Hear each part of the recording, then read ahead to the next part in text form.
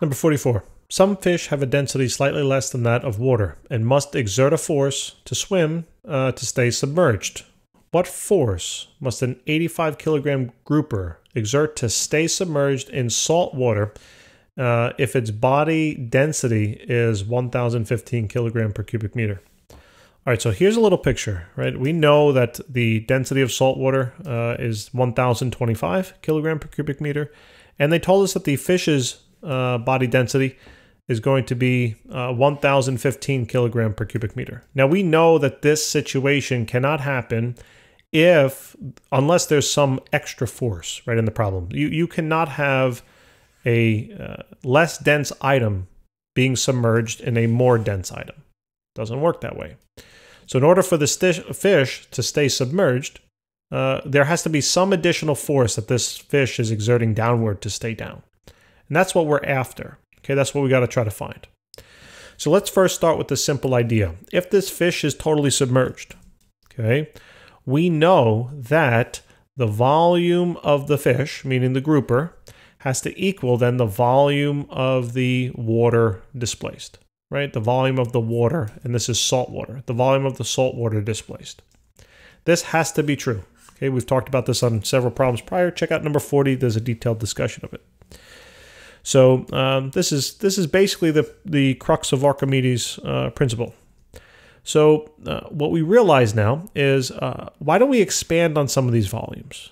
All right, let's expand on some of these volumes. They're telling us densities and masses, right? So let's expand on these volumes and let's use this equation to do so. Why? Well, because I'm just trying to figure out a way to relate vol uh, volume to density and mass. Okay, and I realize that this equation does it pretty well. So if I solve this equation for volume, we realize that the volume is going to be equal to the mass divided by the density. Okay, so this is what I'm going to now use to substitute in for both uh, volumes. Now specifically, since this is the volume of the grouper, that means it would be the mass of the grouper divided by the density of the grouper. Okay, and that would then equal the mass of the saltwater displaced, I'm just going to leave it m sub s now, divided by the volume of the saltwater displaced. Okay. Oh, excuse me, divided not by the volume, by the density, my apologies, by the density of the salt water displaced. So I know three of the four things here, right? We know the mass of the grouper, we know the density of the grouper, and we also know the density of the salt water. What we don't know is the mass of the salt water that was displaced. So what I can do here is solve for the mass of the saltwater displaced. So why don't we just do that algebraically? So this is the mass of the saltwater displaced will simply be, be uh, will simply be equal to the mass mass of the grouper times the density of the saltwater all divided by the density of the grouper. Now what now we have to think about it. Well, what what how how can this now help me find something? Well, why don't we why don't we just calculate and sometimes, you know, instead of thinking through variables all the time, it might be good to actually come up with a number and see how it relates to maybe another number we have. All right. So why don't we plug in the numbers and let's see. So we got the mass of the grouper told us was 85 uh, multiplied by the density of the salt water, which is 1025, and then I'll divide that by 1015. And what do we get here? So let's plug it into the calculator. Essentially, it's just a ratio, right? Take 85 multiplied by the ratio of the two densities. So 1025 divided by 1015. And we get an answer of about 85.8. Okay? So this is 85.8 uh, kilograms now. Okay? So what does this mean? This means, so here's the weight, here's, excuse me, the mass. Here's the mass. I mean, mass and weight, you know, both acting on gravity, they're going to be the same thing anyway, but this is technically a mass. Okay, if this is the mass of the grouper, 85 kilograms, and this is the mass of the salt water that was displaced, 85.8 kilograms, how can we think about the extra force that's necessary to keep the fish under? Well, if more mass of water was displaced than what the fish's mass is, it's the difference in terms of the mass between that of the salt water and that of the grouper that is the mass necessary to find the force. Okay?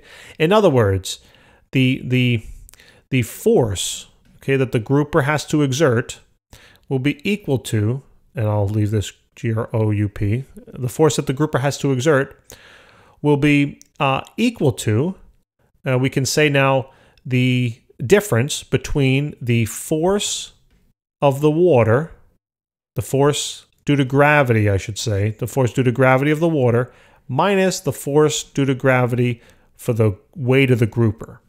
Okay, so the extra force that the grouper has to exert would be found by using this equation. So that being said, the force that the grouper has to exert, right, uh, which would simply be, yeah, let's just leave, yeah, let's just leave it in these terms. So the force the grouper would have to exert to stay submerged is equal to the force um, of gravity of the water that was displaced. So here we have the 85.8 kilograms, right? So this would be 85.8 multiplied by gravity, 9.8.